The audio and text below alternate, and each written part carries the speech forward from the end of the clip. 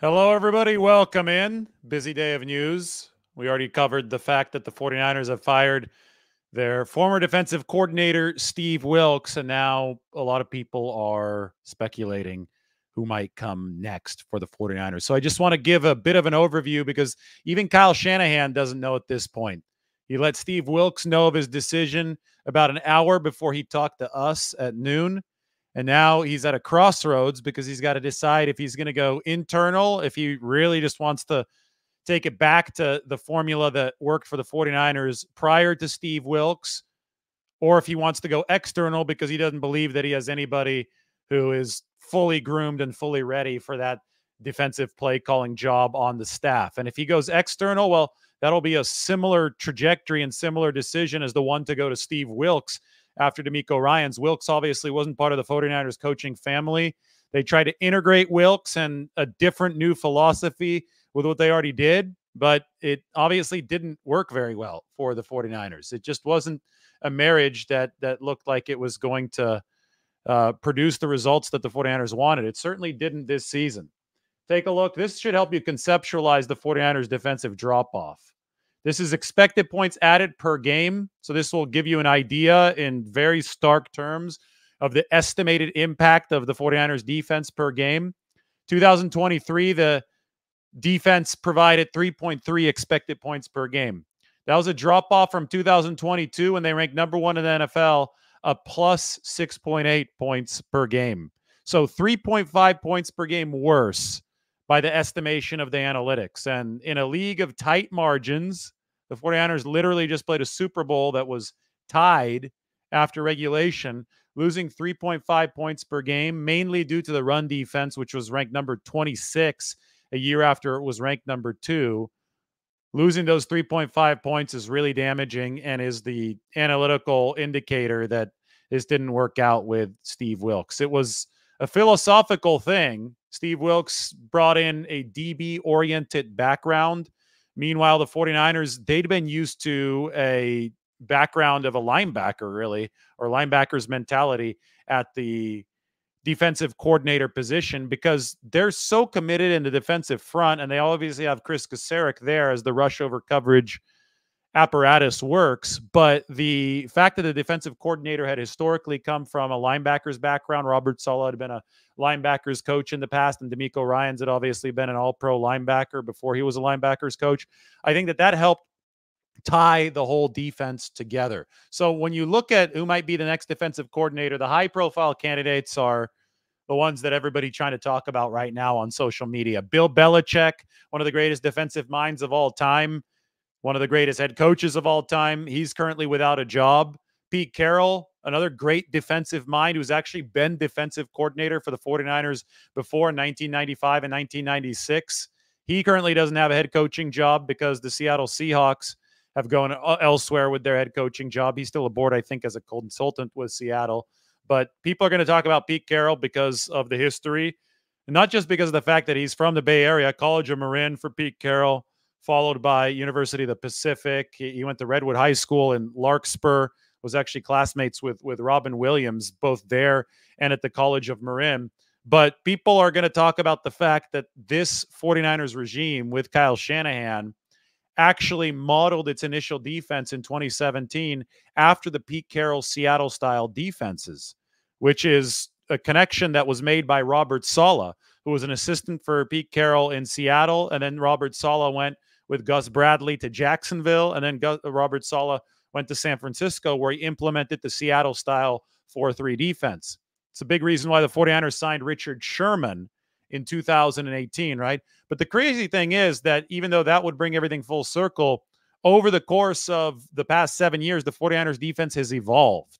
The old Seattle style cover three is not something that works in the league anymore. You have to be more complex on the back end. You have to run more man coverage. You have to run more disguises because the, the league, this is a chess match kind of league. The league is always going to be trying to make a counter move to your move. So that's one of the reasons why the 49ers decided to sign this man. This is why they went with Steve Wilks because they felt that he was going to be able to bring new ideas and new oxygen to their secondary.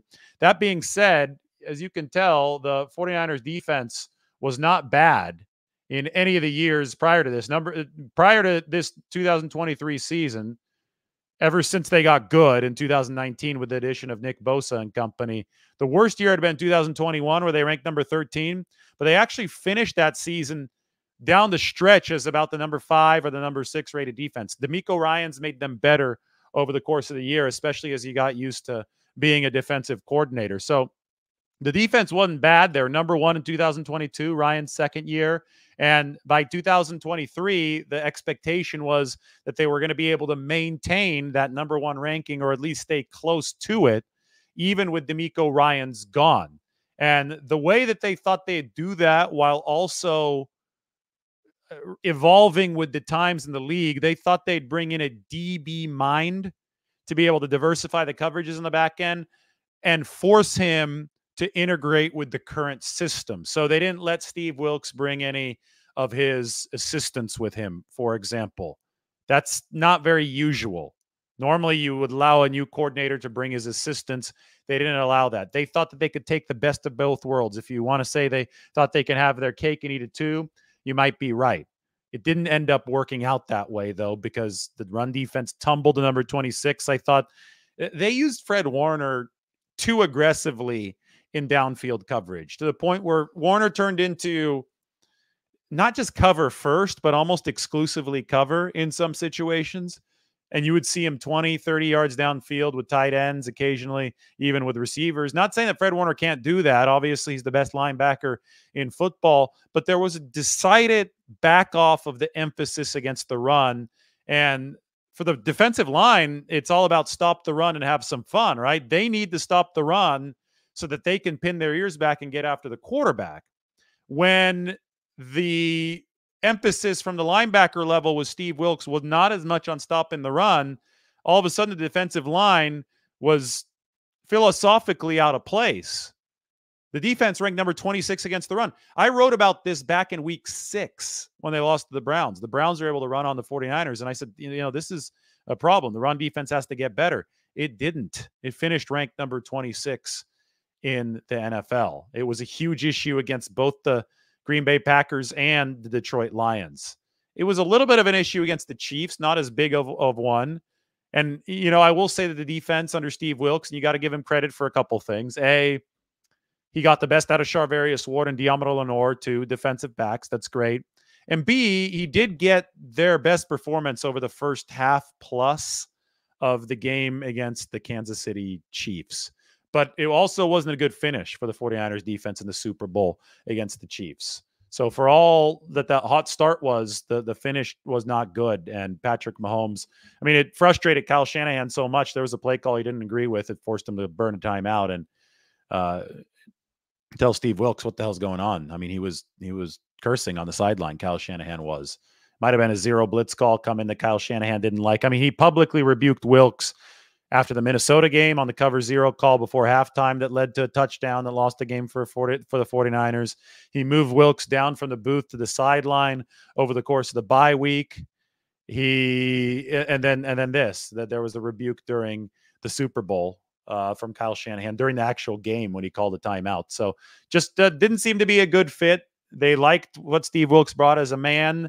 They liked some of the new coverage combinations. There were high points there was the game against Jacksonville where they roared coming out of the bye week. But I do think that Kyle Shanahan probably added some of his input into the defense over the bye week. We saw those five man fronts they came out with against Jacksonville to stop the run that they hadn't been able to stop in the weeks prior. So it, it definitely just did never vibed right. We covered it at the time. We talked about all that at the time. And now the 49ers, you know, are in a situation in the media cycle where people are talking about Bill Belichick, Pete Carroll, Brandon Staley, also on the list that I put up there. Brandon Staley's the former Chargers head coach, but, you know, that tenure wasn't good. And I don't know if the Joey Bosa is the biggest fan of Brandon Staley. I know Sebastian Joseph Day might be, but he was only under well, Sebastian Joseph Day actually may be under contract for next season with the 49ers too. Yeah. They got him with what I think is still a year left of his contract. So Sebastian Joseph Day would be a guy that's a bigger Brandon Staley fan. I would say that Staley would completely change the DNA of this defense. It probably would move to a 3 4. And Staley had been with the Rams before the Chargers, and he had actually coordinated a number one ranked Rams defense prior to his time with the Chargers. So, uh, you know, he's a defensive coordinator with pedigree. And if everybody's on the table, then we have to name some of these high profile candidates. There's Mike Vrabel and Chris Harris. Vrabel, obviously, the former head coach of the Tennessee Titans. And uh, Chris Harris, actually, this is somebody the 49ers have been interested in the past. He's a, a, defensive backs coach right now. He's a secondary coach for Tennessee, was under Mike Vrabel previously. For somebody like Carroll, for somebody like Bill Belichick, it's highly, highly unlikely just because of the fact that these guys would have to take a demotion. They would have to work under a coach, even though they've won Super Bowls in the past as head coaches, which I think would make it a rather unprecedented move. You could see something of this sorts from this list happening more likely for somebody like Brandon Staley or Mike Vrabel, because I mean, even though these guys have been head coaches in the past, they haven't won a Super Bowl yet, and that changes the pecking order a little bit. You can also look at the 49ers in-house candidates, somebody like Daniel Bullocks, who's their current secondary coach, somebody like Johnny Holland, who's their current linebackers coach, but he's been dealing with a multiple myeloma treatment. You have to remember that. And then Chris Kocurek, the defensive line coach, although it seemed that Kyle Shanahan, and this is something that we've learned about Chris over the years, and Kyle Shanahan has talked about it a lot. Uh, that Chris Kocurek seems really happy being a defensive line coach. I don't think he necessarily wants to oversee the whole thing. He likes being a fiery defensive line coach. So I don't know if that's too much of an option. Nick Sorensen on the 49ers staff who's been he's they call him the ball father because he directs these special teams meetings every week or not not the, the, he does direct some special team stuff but he's not the official special teams coach. He has been a special teams coach. He directs the turnover the takeaway giveaway meetings. So they call him the ball father. Everything's about the ball. He looks at different clips from around the league and from 49ers games of giveaways and takeaways. And then they credit Nick Sorensen with being well, the guy on the coaching staff that has probably most helped them be at or near the top of turnover margin in the league over the past two seasons, which is a big, big deal. Mm-hmm. That's helped the 49ers be very successful over the course of the past two seasons. So those would be the internal candidates. I just think that, you know, when you look at uh, the history of what has worked, especially considering the fact that the 49ers just parted ways with something that hasn't been working in Steve Wilks. I think that it's really hard to look at some of these high profile names like Belichick and Brandon Staley and say, oh, Kyle Shanahan would be excited about that because he today literally said, I want to keep things the same as what we've been doing. And that was the pre Wilks era rush over coverage. And I look here, Bill Belichick is a coverage over rush kind of guy. Brandon Staley, he's a 3 4 guy. He's not a 4 3 guy. So that would take a big, big change of philosophy. Might, might be a big reason why they didn't hire Vic Fangio last year because Vic Fangio would have wanted to run the 3 4 instead of the 4 3. And Nick Bosa is going to have a lot of say in things. Nick Bosa is not going to want to play outside linebacker. He's going to want to put his hand in the dirt as a 4 3 defensive end. And, you know, Mike Vrabel with the Titans I think that he'd be a little bit more linebacker, defensive line oriented just because of his history as a player. But he does also come from the Belichick tree as far as playing for Bill Belichick. So there would be a chance that that he wouldn't be exactly what Kyle Shanahan wants philosophically. That being said, Shanahan did say that he's open to anything. So if somebody like Bill Belichick is available and wants to come in the unlikely event that he decides to take a step away from being the man. He's okay with being just a defensive coordinator. And then he thinks maybe about his future and he sees San Francisco's talented offensive staff and he sees a potential future offensive coordinator that he can poach from the 49ers staff if he becomes a head coach later. If that happens with somebody like Bill Belichick or even with somebody like Pete Carroll, then I think there, you know, and I think Belichick would be the main one, not not Pete Carroll, but I think that there would be some willingness from the 49ers and Shanahan to be a little bit more flexible, just in deference to who they bring in. But I think that based on what Shanahan has been saying, he doesn't want to bring in a veteran. He'll explore that idea and, and he'll probably put out calls to all of these guys. But he, I think you'd rather bring in somebody who has approached the game the same way that 49ers defensive coordinators Robert Saleh and DeMeco Ryans approached the game to be able to get this defense back to what earned its reputation as one of the top units in the league. And for that, I go back to their performance over the course of this regime. And the best year, obviously 27 and 2018, they weren't good. And they picked up Bosa and company. They turned the corner in 2019. That was the best year. That was under Robert Saleh. And then you had another really good year in 2022 under DeMeco Ryans. You obviously had injuries in 2020 and 2021 was a tough year, but they finished strong. And it's always been a rush over coverage unit in its best years. I would say that they've gotten a little bit more diversified over time. And then Steve Wilks came in and tried to change a whole heck of a lot. He was trying to really, really emphasize that pass coverage. But the the best coordinating performances have come when the 49ers have really been able to bind things together defensively. 2022 and 2019 with coordinators who had linebacker coaching experience. 2019 was Saleh as that linebackers coach, and then the linebacker himself in that 2022 season with DeMeco Ryans. For that reason, my dark horse candidate is Aaron Curry. He currently is the inside linebackers coach of the Pittsburgh Steelers. He's only 37 years old. But this is a guy, and I was just looking through coaches in the league, and there's going to be a lot of dark horse names until Kyle Shanahan narrows this down. So I'm not going to sit here and for 30 minutes and just list names. But you know, even if it's not Aaron Curry, look for this type of prototype if the 49ers are starting to search less experienced candidates and going back to the Robert Saleh DeMeco Ryans playbook because Curry is a former linebacker. He's an inside linebackers coach now, so that's right at the middle of the defense. That's in between the defensive line and the secondary. And he has played under and coached under Pete Carroll. So you look at the higher profile names and you see Carroll on there. And yes, he, he runs the system the 49ers first adopted, but it's evolved since then. And I think that Kyle Shanahan might want to go for some younger blood anyway. And I think that somebody would understand the Carroll principles, but also understand the changing dynamic of the game would be a younger coach like an Aaron Curry, who's 37 and is currently coaching the interior linebackers at a place like Pittsburgh. And Pittsburgh's had a solid defense year in, year out.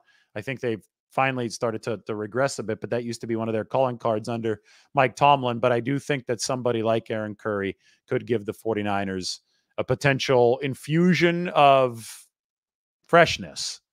I don't know if they're going to go that direction. I know they're going to go to somebody similar. They haven't narrowed it down at all yet, but just be cognizant of the names that are on the table, of the name that I think could be a sleeper, and stay smart about it because I think the 49ers have a lot of work in front of them, considering the fact that Shanahan just made the decision to part ways with Steve Wilks today. Again, it comes down to this the defense was over a field goal worse in terms of expected points since the number one unit in 2022. So, no, Steve Wilks was not scapegoated. That is the most ridiculous narrative out there. I think that the division in opinion here online lies between people who actually watch the 49ers this year and people from the national media parachuting in just to have a take. Yes, the 49ers defense played well, especially before Dre Greenlaw got hurt against the Chiefs, but ultimately it didn't play well enough. Ultimately, it played poorly enough and was aligned poorly enough to cause Kyle Shanahan to take a timeout and disgust. That was overtime. And this is not a single game decision. They didn't sit here and decide to fire Steve Wilks because of only the Super Bowl. They decided to do this because the defense has tangibly regressed over the course of this past year from number one down to number 12 with perhaps greater talent. With Chase Young on this football team, the 49ers thought that, wait, this defense shouldn't be dropping over 3.5 point points per game from number one to number 12. In any job, especially in the NFL, if there is regression, there probably is going to be a change in leadership.